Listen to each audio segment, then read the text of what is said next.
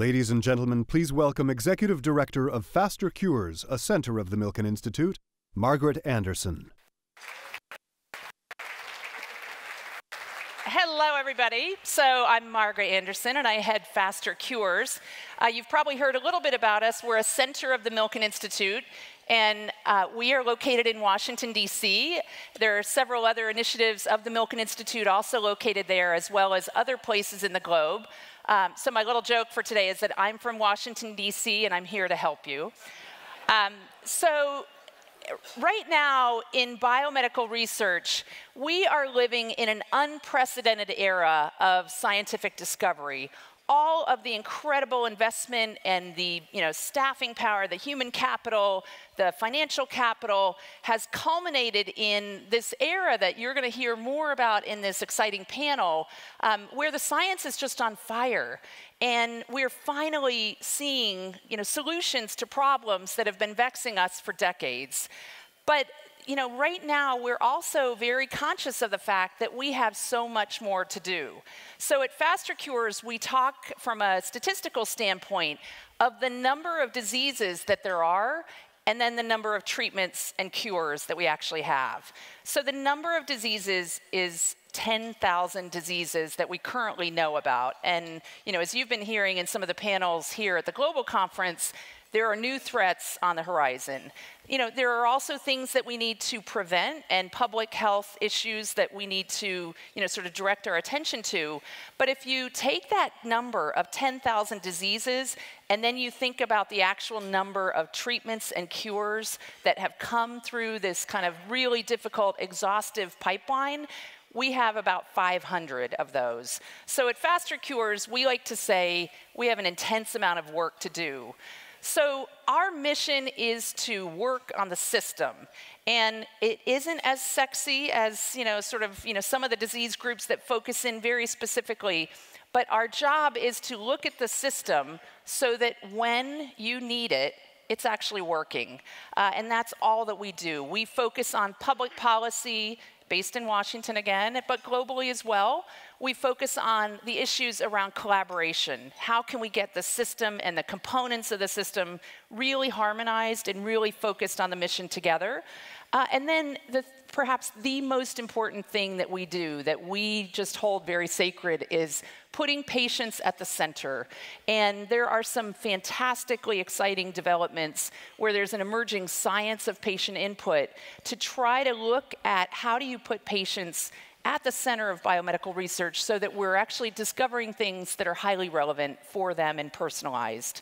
So we want your ideas, we want your input, we want support, uh, we want to partner with you, and you know my team has been here talking to many of you about that. We take away a lot of uh, the disruptive ideas that we've all been here hearing about uh, and bring that back into the biomedical research system. I think it's perhaps one of the most exciting things that the Milken Institute does, that we bring this convening together, uh, we listen to different ideas, and, and we kind of allow this space for creativity. Um, speaking of creativity and bringing you know, lots of different ideas together, um, our chairman, Mike Milken, who is going to be the master of ceremonies for this next panel, has been really looking forward into the future for decades. And he did this in spades in 2012. We're going to show you a quick video in a minute. He convened all of the leaders in science, in biomedical research, uh, in really looking to the future, and it was called The Celebration of Science. So, what we're going to do is you're going to see a few of the highlights from that. And then after that, Mike Milken is going to come out and kind of blow your mind with some of the new areas of, of technology in biomedical research. So, in closing, I want to thank all of you for um, caring about Faster Cures, for working with us, supporting us. Um, we are just, you know, as excited as we can be. We're kind of poised at the beginning, and um, I want all of you to feel that excitement because the, as I said, the need is staggering and we have so much more work to do and I, I want all of you to be part of that. So thank you very much. Here's the video on Celebration of Science. Thank you. Throughout history, diseases have devastated entire civilizations. In the 14th century, one third of the population of Europe, nearly 25 million people, died from the Black Plague.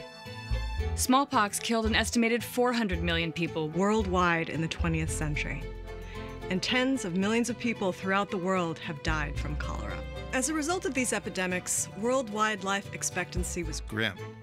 A baby born in 1800 could only expect to live an average of 26 years, and that number only rose to 31 years by 1900. The United States was not immune. One in five children born in America in 1900 died before the age of five.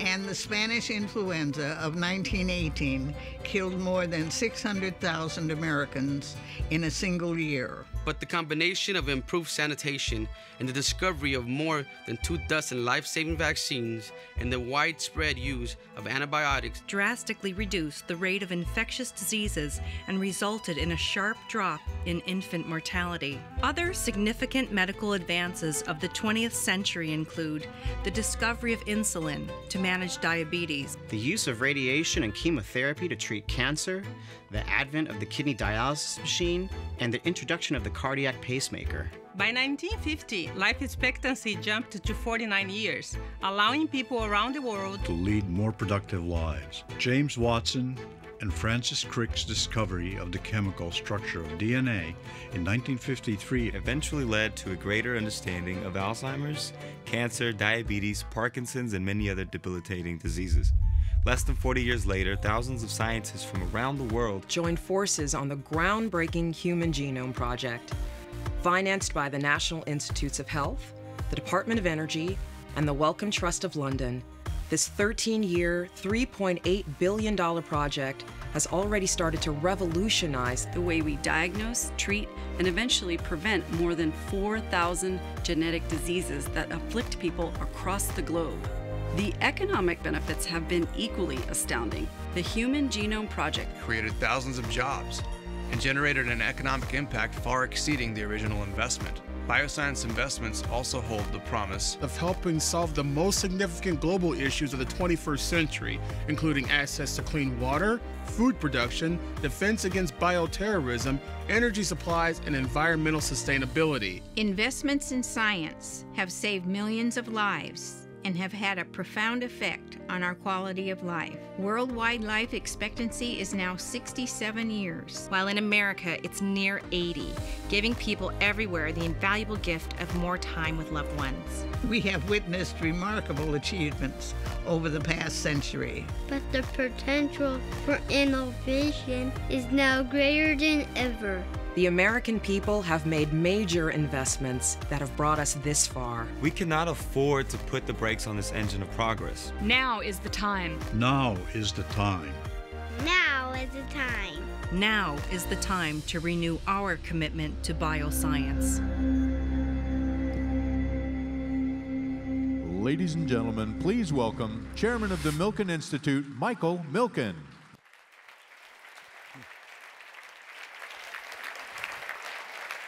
Thank you for joining us. For me, this is day seven. For many of you, it might only be day one.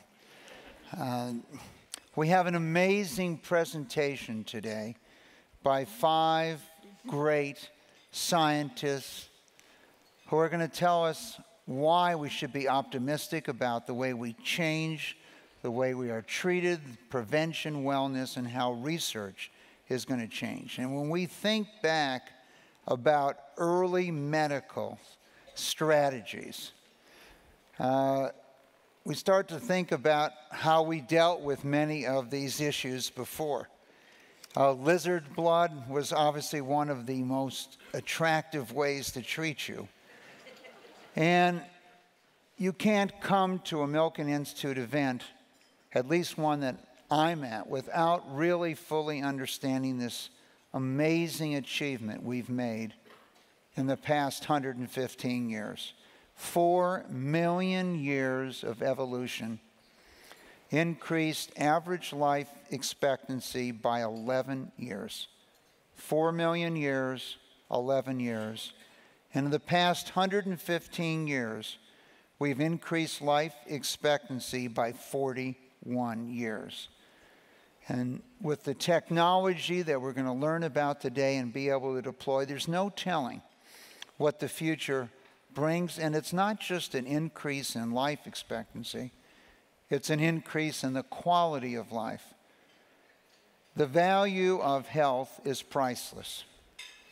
Saving one life saves the world. In economic terms,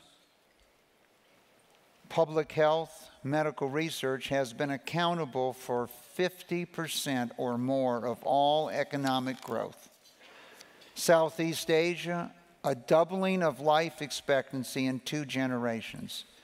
Today, Sub Saharan Africa, a doubling of life expectancy in one generation. It's an amazing achievement we've had, and maybe the greatest achievement that man has ever done.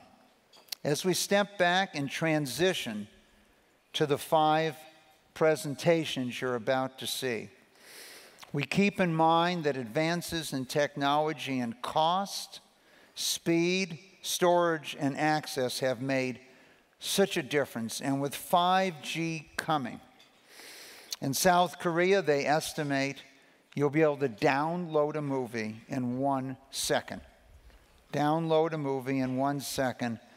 And when I think back, when I sat in those technology discussions with Warner and what's now Time Warner 30 years ago, we always wondered would someone watch a DVD if it was on four sides to hold the movie? You had to watch it, get up, turn it over, get up, take it out, put a new one in, and turn it over. Well, today in Korea, you can just watch it in one second. Probably not that good for the DVD business. 1976 for me was an exciting year. We wheeled the supercomputer onto our trading floor, the first one in the financial service industry. $1 million per megabyte storage. Yes, and we had big sideburns in those days. Well, today, your little iPhone 6 Plus, instead of 1 million a megabyte, it's less than one cent. We're headed to a data storage cost, one billionth one billionth 40 years later. And today, if you want to communicate on this planet, you can reach almost everyone, whether they're in sub Saharan Africa, Asia, Europe, the United States, and even Antarctica. When I first met Dr. Jonathan Simons in February of 1993, one of our country's most promising young scientist doctors, he had been at Princeton and Harvard and Mass General and Cambridge and was at Hopkins. And one talented researcher could read 500 letters of the human genome per day. Well, today the world has changed. And today we have a situation where a $5,000 machine can read millions and process millions of times what Dr. Simon was capable of doing in 1993. He is free to analyze the data, not keep track of that data. And so we're going to get a look at the future here from five outstanding individuals. But before we do, of course, we have to have a quiz. You can't come to any Milken event without a quiz, but to get you into the future, we have special instructions uh, that you can use your mobile devices, part of the 7 billion. And can we uh, see those instructions? There we go. So you can text to Global 2016. Uh, and you can answer the questions. And it's not complicated because it's multiple choice a, B, C, D, E. Okay? Have you got that down? Now, here's your question. The first sequencing uh, of the human genome in 1993 took 13 years, and Francis Collins, who's been with us for the last eight or so years, was put in charge of that project. And if you consider all the research at the very beginning that was required and accelerated greatly at the end, what, uh, and it cost about over $3 billion. So here's the question How long did it take for Flick? And let's take a look at Flick again, who he is, so you know who he is. He's this young PhD candidate who linked 1,024 processors. How long did it take him to sequence a full human genome? Now, the New York Times had predicted in the late 90s that at the rate we were going, we would not be completed to the 22nd century. So let's see how our answers are coming in here. Gosh, there come the E's. They got a slow start, those E's.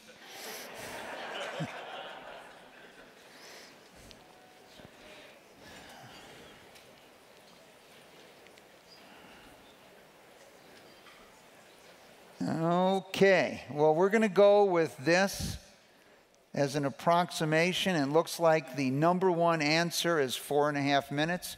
Quite a change from 13 years. We did have a few at 76 hours. Uh, the correct answer is Flick's sequenced the human genome in 7.3 seconds. So, as we can just imagine what technology has allowed us to do, I would like to now introduce you to by this. Can we put the picture up of our five uh, panelists, maybe the slide? Uh, and we're going to start with Jack Gilbert from the University of Chicago. Thank you. I'm Dr. Jack Gilbert, and you're covered in bacteria. Microbiologist Jack Gilbert studies how microbial communities assemble themselves in natural and man made environments. Gilbert's goal is to characterize all of the microbes on the planet his team has already identified more than 22 million species from samples submitted by hundreds of people around the world. So you have 100 trillion bacterial cells inside your body. And what we're starting to understand is by looking at those organisms, we can say intricate things about your health and your well-being. Ladies and gentlemen, please welcome Jack Gilbert.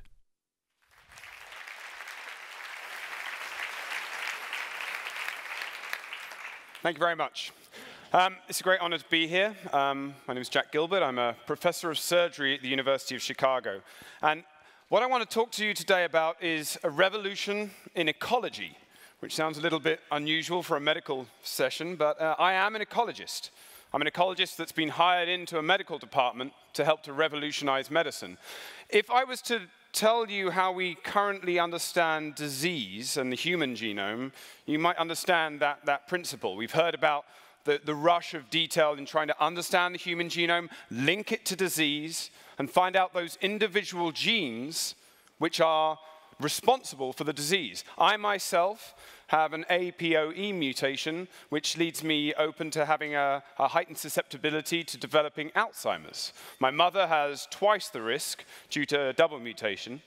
And does this mean I'm going to get Alzheimer's? I know I have an increased risk, but what are the factors that would lead to its onset? Well, it's important to understand you're not just a human genome.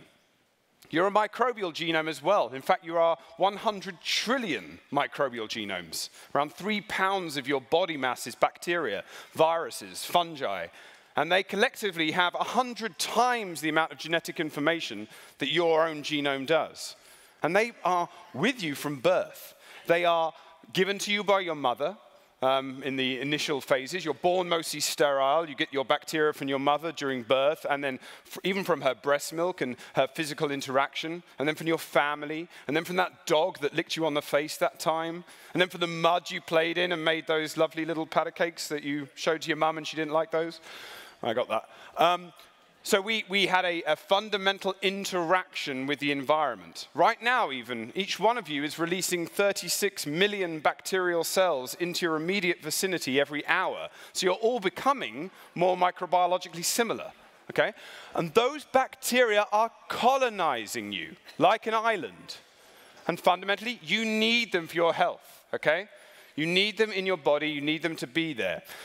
But over the last hundred years, we've been doing something rather negative. We've been eradicating that exposure to the microbial world, which our species, over the last five million years of our evolution, has become dependent on. We've been eroding, almost deforesting our own microbiome through the indiscriminate use of antibiotics, through cleaning products which help us to protect ourselves from the 99.9% of bacteria which are going to kill us instantly.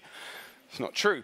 Um, that, that removal of us from our environment has been a fundamental problem in the development of our health. We think this has led to asthma, allergies being significantly increased, and many other conditions. In fact, through what I call microbiome wide association studies, this is akin to a genome wide association study we heard about earlier, where we would link a gene in the human genome to a disease. Here we're linking microbial ecology, so hundreds of different species of bacteria to disease. We've found hundreds of different conditions which have been linked to changes in the microbiome or have been linked to being onset or delivered by changes in the microbiome. So a couple of examples of this, researchers at University of Chicago and across the country have uncovered fantastic new therapies for treating cancer immunotherapies, which we heard about across this conference. And yet, what we found is that there are still people that do not respond particularly well to the immunotherapy.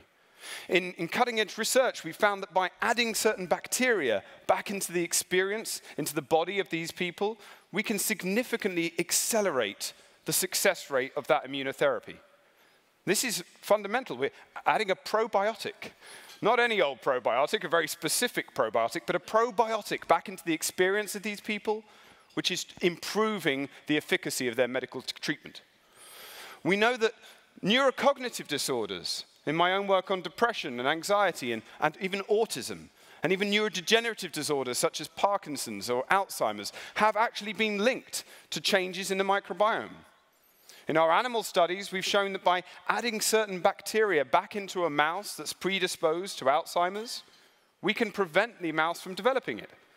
Imagine if we could transcend that therapy very rapidly through improving our connectivity across scientific disciplines to enable us to take those findings in the lab and put them into the clinic as quickly as possible. We're nearly there. We need to push ourselves harder to transcend that boundary. And then we wouldn't just be able to treat Alzheimer's with these uh, microbial therapies, we'd be able to treat other conditions. Imagine treating depression. Imagine really being able to attack this, this problem which uh, has massive consequences for our society, let alone societies across the world. Depression is a, a major problem in our world. And if we could treat it, we could have a real impact upon humanity. Surgical infections in our own work. I'm a, an ecologist, actually a marine ecologist, if you would believe it, working in a surgery department. And it's my job to try and find out ways in which my understanding of microbial ecology in the ocean can be transcended into a surgical theatre to determine ways to treat the microbiome as well as treating the patient. Imagine how traumatic a surgery is to the body of the human being that's, being, that's undergoing the surgery, okay? And then imagine how traumatic it is to the bacteria in there. We normally don't care about them, right? We try and kill them off because they could be dangerous. What we found in our study is that by, by eradicating that mentality and feeding the microbiome during surgery, the bacteria, the 100 trillion bacteria inside your intestine, we can actually prevent them from going rogue, from attacking the host. We give them a, a, novel therapy, which we developed with material scientists and computer scientists who helped us to model that dynamic. And when we add this in, the bacteria are satiated. And they no longer, when stressed, attack the host. This is transformative. We believe we can eradicate 90% of surgical infections by using this kind of technology and are trying to implement that right now. So, moving on to a, a, an understanding of how to attack this in humanity, I want to propose a concept we call microbial GPS. I want to be able to give each of you a GPS to your microbial health because not all of you can change your genome, but you can certainly change your microbiome, and you do it on a regular basis. The food you're eating right now is changing your microbiome. Imagine if I could tell you exactly what you needed to do to get your microbiome back to optimal health. What kind of probiotics you might be able to take, what kind of diet you might be able to use, what kind of lifestyle you should adopt. Maybe I should tell you to go and get a dog or rescue a dog. Maybe, maybe you need to take a particular antibiotic to treat it. And then eradicating that's going to have massive implications. So we are proposing microbial GPS as a way of transcending our ability to take control of our health and our life. The University of Chicago uh, uh, is a research university. Argonne National Laboratory, part of the Department of Energy's National Lab Network, and the Marine Biological Laboratory and Marine Institute, we're taking research from agricultural microbiology, attempts to improve productivity, disease resistance, and tolerance in plants, from the marine sector, and from climate activity research, trying to figure out ways of taking that data, transcending our boundaries as researchers, and applying it to the next generation of microbial research. So I think this is an incredibly exciting time because we are moving across those boundaries and presenting the future of healthcare from an ecologist's perspective. Thank you.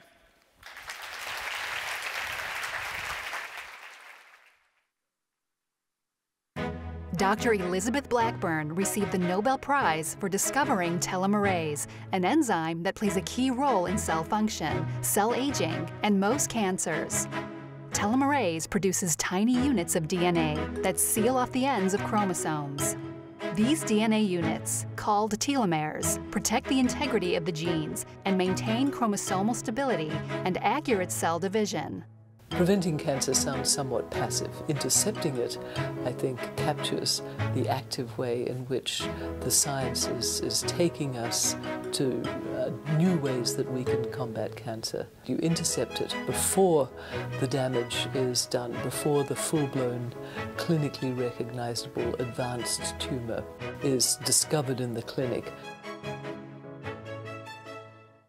Ladies and gentlemen, please welcome Elizabeth Blackburn.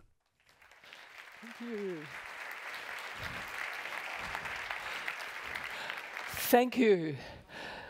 What is the dream of the future of medicine? We want to prevent diseases, pre preempt, intercept them. We can think of ourselves as we go through life in a health span where we're in a state of pre-disease and then we go through the years and we come to advanced diseases. We have incredible ways we can treat diseases.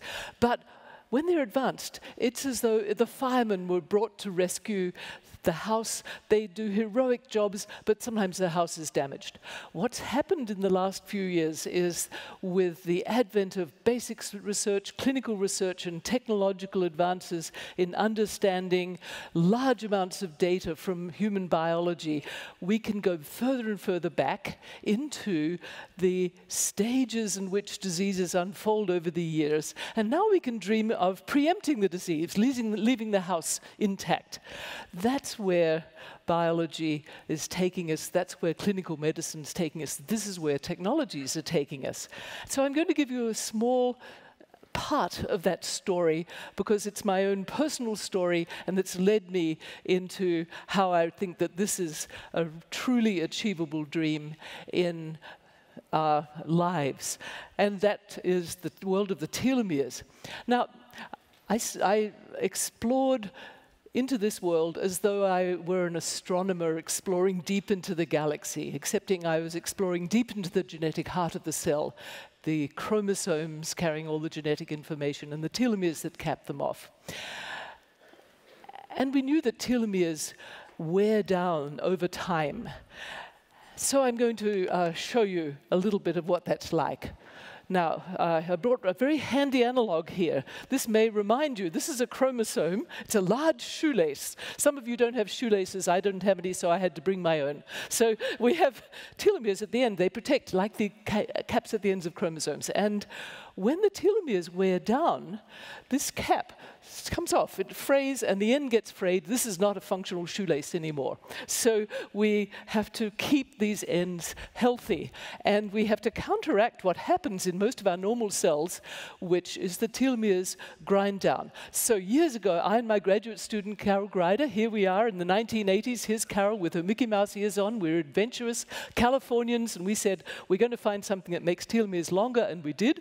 And uh, what we had to find out was how that plays out in humans' lives. So this takes many, many years to play out, but gradually, over years, the balance of the adding that you saw is uh, counteracted by, sadly, the shortening, and eventually cells will stop dividing, and that leads to real problems in cells. The shoelace end gets frayed. This leads the cells to senesce, and all sorts of appalling things happen to cells. I won't list them all, but their energy powerhouses go bad. They can't work properly, they can't respond to signals if they're a pancreatic cell, and worse, they become like rotten apples in a barrel, these cells start leaking pro-inflammatory substance out, and these have been related to many of those major diseases of, of aging that we want to preempt.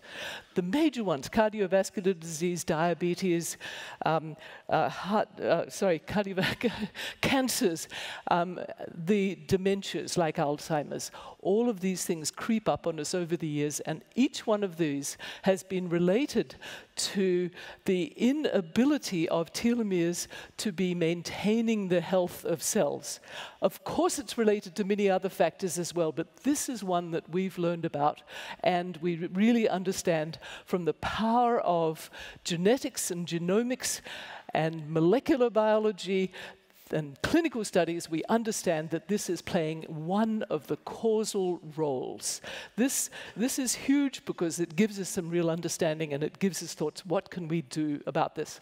So we can turn it into big data. For example, we built a robot and measured telomeres in 100,000 people, and sure enough, they wear down. We measure them, and we want to say, what's happening before they've got too short? Can we anticipate things? So we looked in people, and sure enough, telomeres run down with age, but they actually run down very variably. And how fast they run down really predicts mortality quite significantly. Mortality from cardiovascular disease and from cancers. And these are numbers. So, for example, if you're in the bottom um, 10 percentile, you're twice as likely to die as if you're in the top percentile of telomere length just within three years. So it's a big predictor, uh, but it's very statistical. So now I want to get to the point of pre precision medicine and the big data technological advances that that can do to augment something as simple-minded but profound as, as this. Because what one wants to do is to turn biological measures and clinical information into precision medicine. Now, what is precision medicine? It sounds very grand, and in fact, it can involve huge amounts of data, and one should pull that in whenever possible. But there's a wonderful example of how we can use an example of this to uh, illustrate the principles of precision medicine. It always sounds a little bit overwhelming when we talk about these vast amounts of data. But the principle is very simple, and that is you simply, instead of looking at certain factors one at a time, I was just telling you about one factor, telomere length, you look at different ones together and you make combinations, and that enormously increases the power of your predictions. And so I want to give you a very real life example on the ground to illustrate this principle. Here we are in Houston, Texas, MD Anderson Cancer Center, 441 patients are there, and those 441 patients uh, have come in with bladder cancer. How long are they going to live? Well, it turns out that by combining two key pieces of information at bladder cancer's diagnosis, telomere length and, of all things, depression, one could make predictions. So let's look at these 441 patients, and we're going to just divide them up into the ones who were depressed or who had shorter telomeres in their immune cells, which are very important for controlling cancers, or had neither. They had long telomeres and they had no depression. So if they only had those, one at a time or neither, after two and a half years, this fraction of those people had died. But if you had both, after only two and a half years, that fraction of people had died. Now we go out to five years. Of course, more people had died uh, five years later. If they had neither short telomeres nor depression, or one, only one of those. But if they had both, they all had died. That is the principle of precision medicine. It tells us things by combining sources of information. And this is a very simple. one. This is the power of precision medicine. So what can we do to maintain our telomeres in a healthy way? Telomeres are um, something that we have to think about because they're Dr. Jekyll and Mr. Hyde in terms of telomerase. Telomerase is both good in the context of healthy cells, but unfortunately, it fuels cancer cells to keep on multiplying. So we can't play with this fire at this point pharmacologically, but I'll end with the good news. Luckily, there are a lot of things we can do which are influencing telomere maintenance. We balance our telomere length in lots of ways that have been very, very well studied studies, and weighting down telomeres, making them shorter, or a lot of factors. I've listed them here, and making telomeres better are a lot of other factors.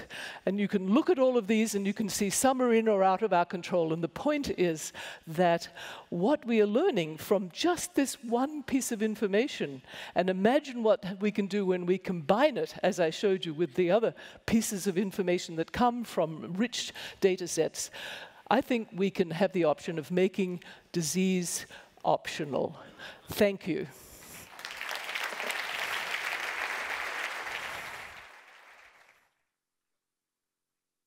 Dr. Vadim Backman's laboratory at Northwestern University has pioneered the development of new technologies in biophotonics and biomedical optics, utilizing light to understand the structure and function of cells and tissues at the nanoscale.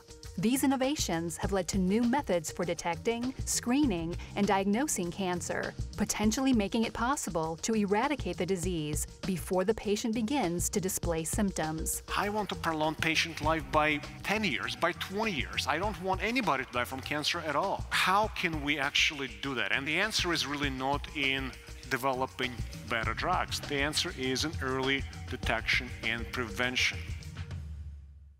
Ladies and gentlemen, please welcome Vadim Backman.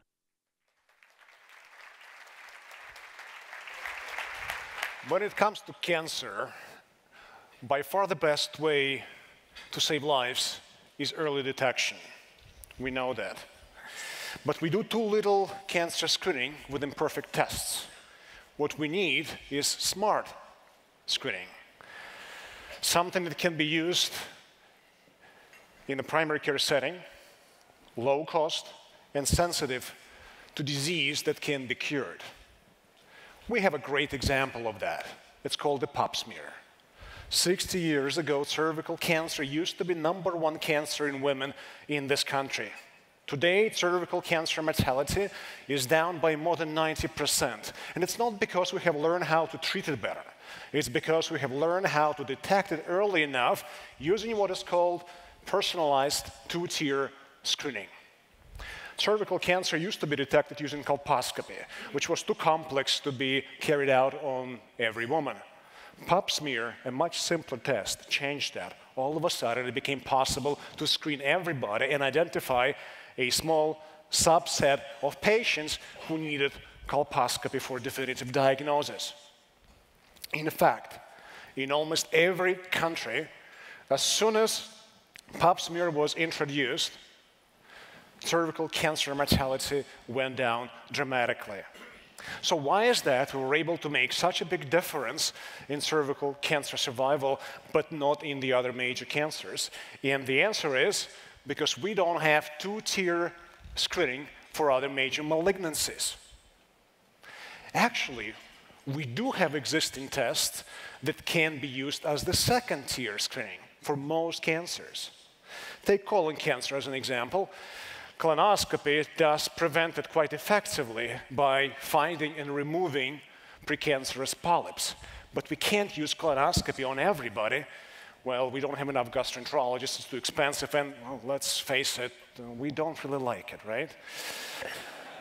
As the result, most of us don't get colonoscopies, and colon cancer is the second major cause of deaths in the country.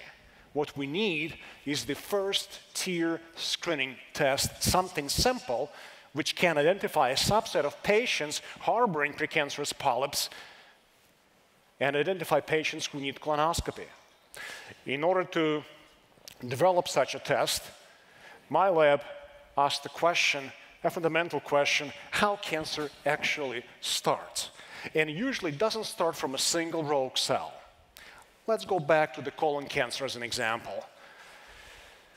It results because of the interplay between environmental exposures such as diet, toxins, microbiome, and genetic and epigenetic status of the patient. As the result, many cells in the colon and the rectum keep accumulating genetic and epigenetic alterations. This is called field carcinogenesis. By statistical bad luck, some of the cells lead to a clone that forms a tumor. In case of lung cancer, field carcinogenesis extends all the way to the mucosa of the cheek. See, most existing diagnostic tests look for byproducts of a tumor, such as proteins in the blood. And these tests work fairly well, some of them at least, detecting large late stage cancers. They don't work so well detecting early and especially precancerous lesions. Size does matter. And this makes a world of difference for a patient. Survival rate for stage 4 colon cancer is only 11%, but if you can detect it early at a stage of precancerous polyp, it's almost always preventable. And that's why detection of field carcinogenesis is so powerful. It's not about the size, size doesn't matter. It's about the true risk of harboring cancer. Right? One of the first things that happens in field carcinogenesis is chromatin in the cell nucleus undergoes a transformation. Chromatin is a three-dimensional structure that regulates gene expression. If genes are hardware, chromatin is undoubtedly software. In almost all cancers, chromatin changes, allowing cells to explore a greater genomic landscape, to vary their genes. All of a sudden, cells can change and evolve. Some of them, by statistical bad luck, learn how to proliferate uncontrollably, how to metastasize, how to evade, avoid immune system, how to survive chemotherapies. Essentially, this is what makes cancer cancer.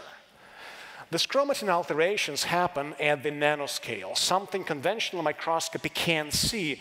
It's two orders of magnitude below the resolution of conventional microscope. So in order to detect these alterations, we had to develop a new technology, which we called nanocytology. It's a combination of microscopy and spectroscopy of light scattered from each and every resolution voxel within the cell. For the first time, we were able to sense nanoscale alterations in the chromatin. At this point, we were ready to combine the biology of field carcinogenesis and nanoscale imaging technology to come up with a cancer screening test. In order to detect early stage lung cancers, we brush cells from the cheek, deposit cells on a glass slide, and use nanocytology to detect nanoscale changes in the chromatin. This test is so simple, it can be carried out in any physician's office, even at Walgreens, if you will. If the test is positive, the patient would get a second tier test, a CT scan. Nanocytology has about 90% sensitivity to early stage, almost always curable lung cancers. For colon cancer, we brush cells from the rectum, easy to do as well, and are able to predict whether the patient has precancerous polyps anywhere in the colon. And if the answer is yes, a patient would go get a colonoscopy. A test as simple as a brushing of the cervical cells, which can be done concurrently with a routine pap smear, can identify early ovarian cancers. In fact, nanocytology has been shown to work in each and every type of cancer we have studied. In addition to lung, colon, and ovarian, the list includes prostate, pancreatic, esophageal, liver, and thyroid cancers. This is no longer science fiction. As early as 2017, we have a really good shot at introducing the first lung cancer screening test in clinical practice, shortly followed by a colon cancer test, shortly followed by an ovarian cancer test, and the list can go on. Essentially, this is nanotechnology pap smear for many, many cancers. Pap smear reduced cervical cancer screening by more than 90%. Imagine if nanocytology can do the same thing for many other major cancers. You know, it would be too presumptive of me to say that this is the beginning of the end in our war on cancer. But I will say, paraphrasing Winston Churchill, that it's the end of the beginning. Thank you.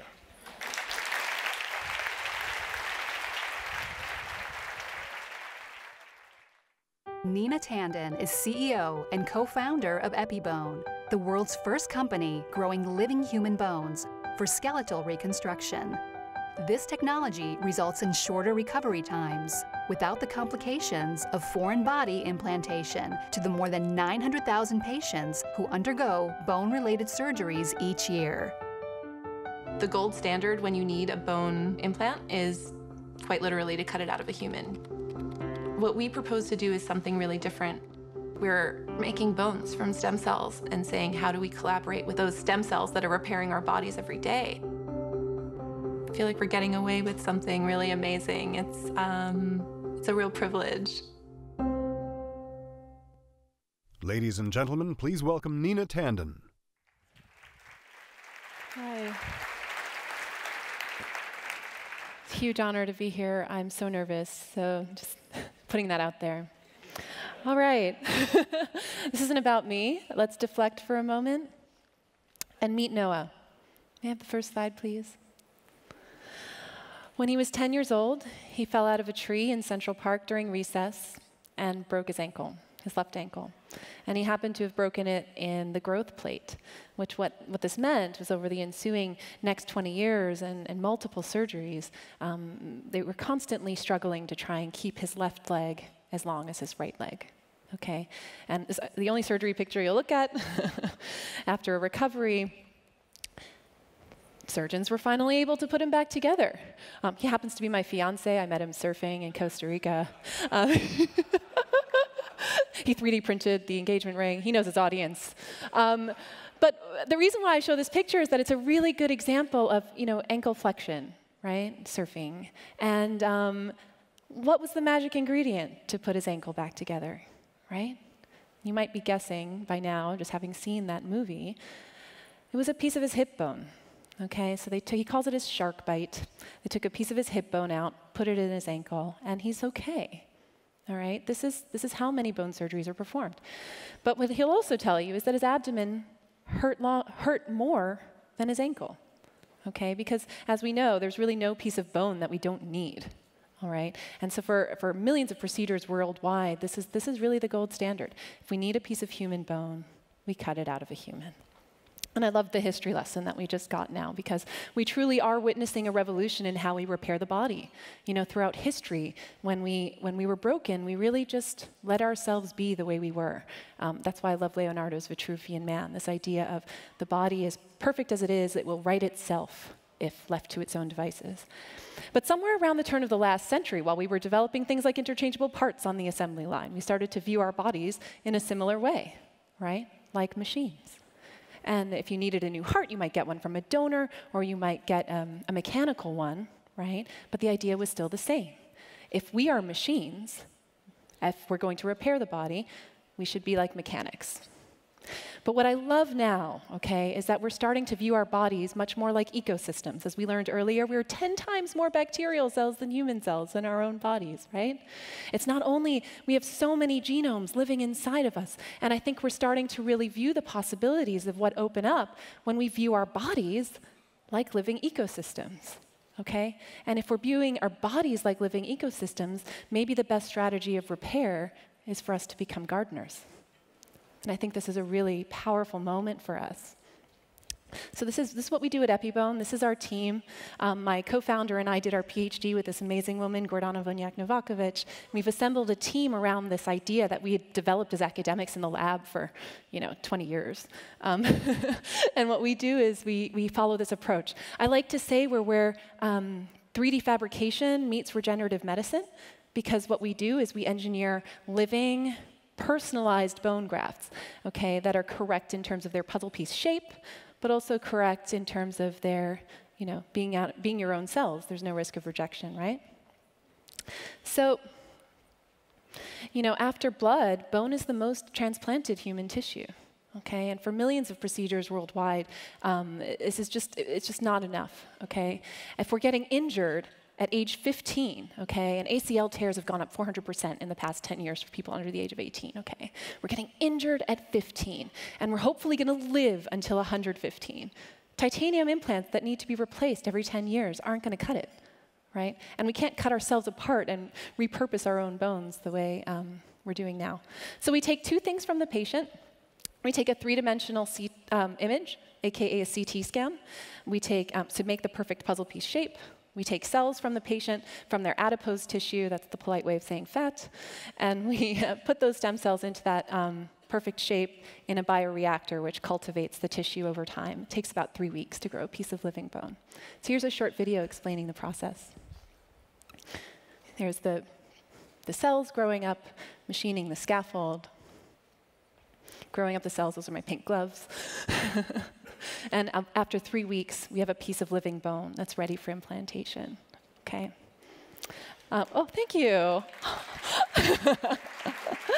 um, we're academics, we're nerds, we've been working on this a long time, and we've now spun out the company to continue translating that work towards the clinic. And we hope that this perfect fit from a physical perspective as well as an immunological perspective will really mean better integration over time. So I have to show you some science pictures over three and six months of implantation. We're currently in pigs. Um, we've seen beautiful um, connection of the graft to the host tissue. We've also seen beautiful evidence of vascular ingrowth deep within the tissue. These cells do a lot more. We need cells. We're alive. It's not just a piece of coral. Um, and we were 10 months into a one-year pig study, which is really exciting as well. That's my co-founder going through TSA with some bones in the suitcase. and uh, I love that we heard about what um, pig teeth in our first opening session, right? Or, um, and after, so you'll see some pig teeth right here. This is a pig skull. After zero, three, four, six, and nine months, we see beautiful integration of the host and um, an epibone. Okay, we're targeting craniofacial bones as our first beachhead market because there's high need. Um, everybody's face is different, and um, there are certain orphan designations that we're looking for um, approval for. Um, but what I think is really exciting when we think about um, what can happen if we start attaching cartilage to those bones, we start attaching ligaments to those bones, and we think about those game-changing markets in, in, in, joint trauma, arthritis, dental, and so on. Um, so this is um, a very exciting story for us. We've been getting a lot of really good support from um, folks around the world that have been helping us um, with, with our journey. We actually have a couple of our beloved angels in the audience right now. I won't put them on the spot, but we've gotten a lot of really good support as we um, transition this technology out of the lab, you know? Because it's one thing to have a science technology, and it's another thing to have a science-based business. And as we make that journey, it's, I think, really important for us to um, to gather all the right people together. Um, awesome. This just selected tech pioneers, so we'll be going to Davos, which is really exciting. Um, but I would just like to close by saying, you know, as exciting as this story is for us, I love to think about what is the bigger story here, okay? What is the movie that I want to be an extra in? And I think for me, the idea that if in the past we looked above for the answers, you know, because we didn't really have the tools to really repair ourselves. And then we've gotten so far in the past 115 years with extending our lives and creating new therapies. Isn't it exciting to think that if we start to make friends and collaborate with those cells that repair our bodies every day, that we can think that the next generation of technologies can be so high tech that they're natural? Okay? That we can look within ourselves, within our own bodies, as the source of our own healing. And I'm really honored to be a part of that story, and I look forward to the conversation. Thank you.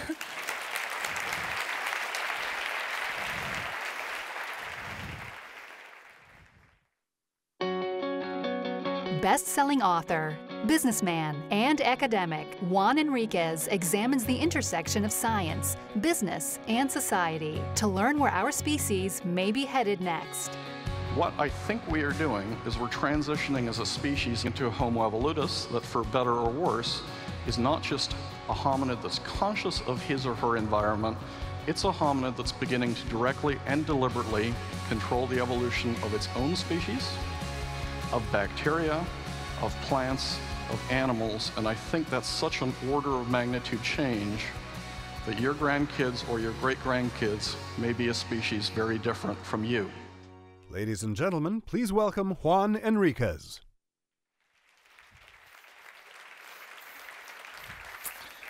All right, so I know at the end of these talks you're all thinking, boy, there's nothing like good gene research to just rev up the afternoon. But as you're thinking of that, if we could go to the first slide, um, I want to talk to you about the implications of this stuff. And because we're in LA, I'm going to start with a very young Dustin Hoffman. And in this iconic movie, The Graduate, there's two key scenes. There's the seduction scene. I'm not going to talk about that. And then there's a scene where the old guy takes the recent graduate out by the swimming pool, puts his arm around him, and says, Just one word. And you all know what that word is it's plastics, and unfortunately, it was completely wrong. Let me explain why it was wrong. So, the word should have been silicon. And the reason the word should have been silicon is because the basic patents that did the, the digital revolution had already been filed. The year this movie's released, Fairchild is already selling semiconductors. The year after this movie's released, Intel's founded.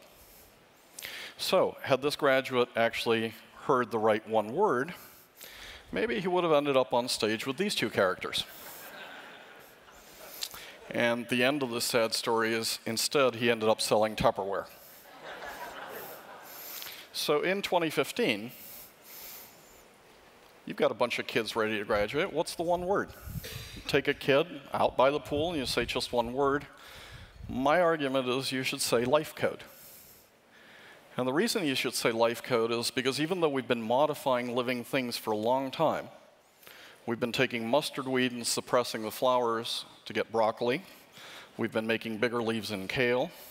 We've sterilized flowers to get cauliflower, which you should think about next time you go to an organic market and eat all natural food. But what we're doing today is very different because we're inserting genes and we actually know what we're doing. We're not trying to figure out what happens. We're saying if you put this gene here, this might happen. And to pick a politically neutral term, this is intelligent design. And as we practice intelligent design, one of the consequences of this life code stuff is that we're curing a whole bunch of deadly diseases. And as we heard, in a normal, natural world, it is normal and natural to have plagues that wipe out 10 or 20% of humanity. It is unnatural for us not to die of deadly diseases.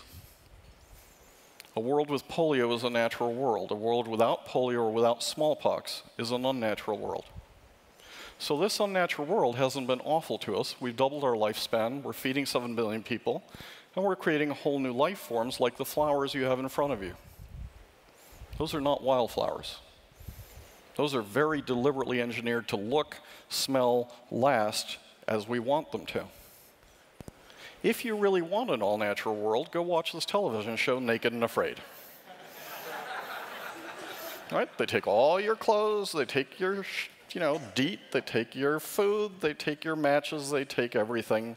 You end up all natural. And then they follow them for 30 days, and it ain't pretty what happens to human beings in an all natural world.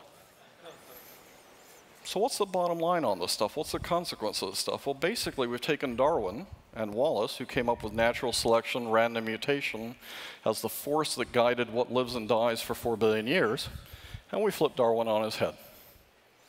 Because what we're practicing today is unnatural selection and non random mutation. So, let me unpack that for a minute. This is natural selection. This is on natural selection. when you take a little chihuahua that you see on Rodeo Drive in an Hermes bag and you put it on the African plain, that's natural selection. a cornfield is the least natural place on earth. You will never walk through a savanna, a forest, a jungle, and see one plant growing at the same time in orderly rows for our purposes and nothing else living there. And by the way, half the surface of the earth is on natural selection because we want our cities here, we want our suburb here, we want our garden here. We don't like these animals, we like these animals a lot, and these animals are cute. So we're picking what lives and dies on at least half the surface of the planet. And then to make things more interesting, this whole random mutation bit, life is a casino, not anymore.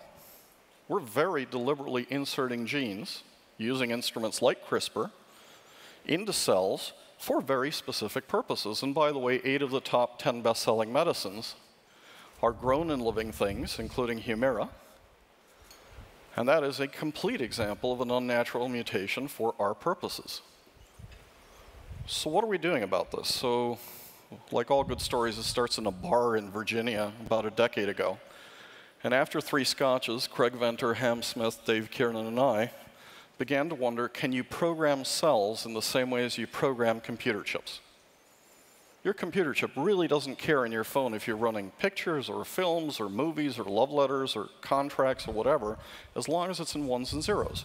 What would happen if we could program a cell in the same way and a few years later, on a mere 40 million bucks, we were able to take this picture. And I know that really excites you. it did me too.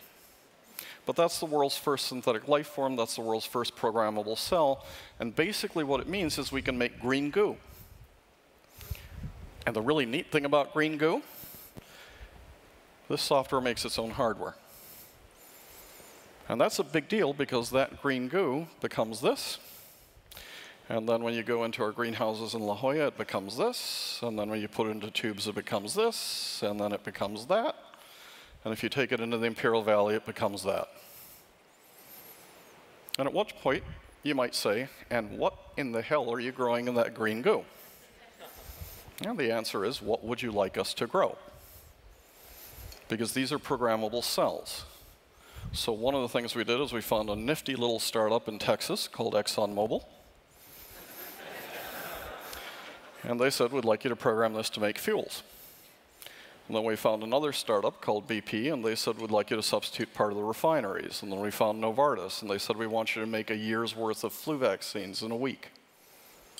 We found ADM, and they said, you want to make foods. We found a different company we haven't announced yet to make proteins for humans.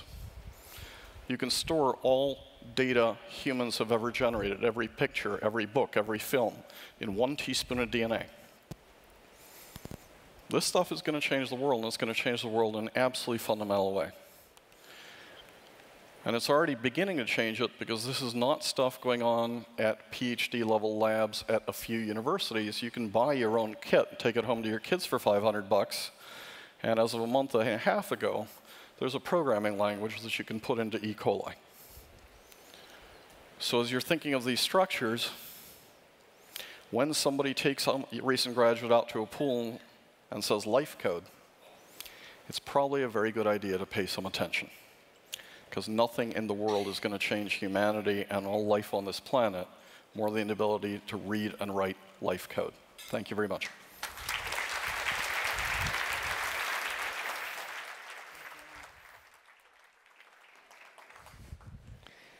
So you've had a brief look at the future.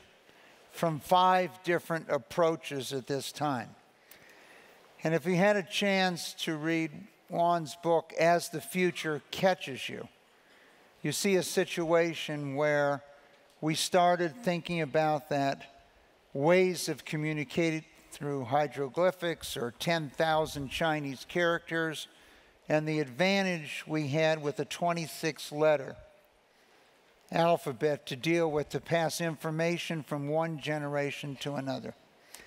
And as Juan wrote, the key in the latter part of the 20th century was to understand the zeros and the one. And the key in the 21st century is to understand DNA and what it's capable of doing.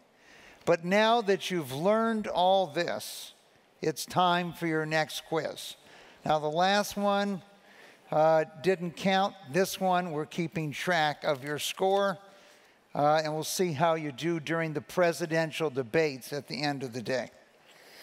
So here's your question, just to remind you Global 2016 22333, and all you have to enter is A, B, or C. So, which of these medical breakthroughs came from 13th century Venice? A, eyeglasses, B, band aids, C, aspirin, D, citrus fruit, or E, stethoscopes. Let's see how this changed. Right now, band aids are doing very poorly.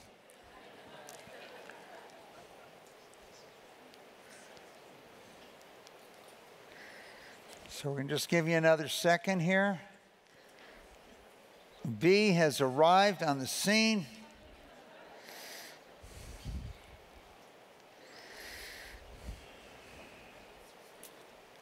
Okay. So far, it looks like your number one pick is eyeglasses, then stethoscopes, then citrus fruits to prevent scurvy, then aspirin, and lastly, band aids. Well, let's start with aspirin. Aspirin, C. Well, let's see. How did that one do? Think Germany, 1897. Germany, 1897. Let's look at aspirin. So that one's not going to work. It didn't happen from Venice. What about stethoscopes, our number two pick in the audience? Think France, 1916, 1816. Uh, let's go to the one next citrus or the band aids. Okay, we'll look at the lowest one band aids. Well, this is the United States contribution band aids, 1920. Scurvy, a little early for Venice, Scotland in the 18th century. And so, yes, you win the prize, which allows you to go to the presidential debate later today. And eyeglasses, Venice from the 1300s. So I'd like to just bring out for your uh, last minute applause all of our panelists. And once again, you can find them online. Yes, they would welcome your support financially in their programs to change the world. So if you could come out and join us again. Jack Gilbert.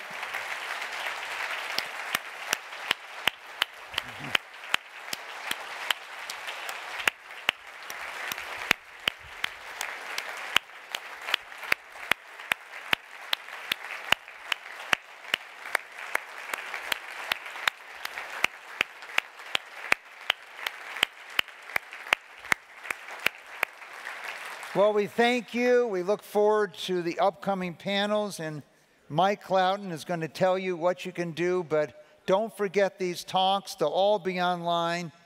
And if you're interested in supporting their work, we'll find a way for you to communicate with them directly. Thank you very much. Thank you, Mike.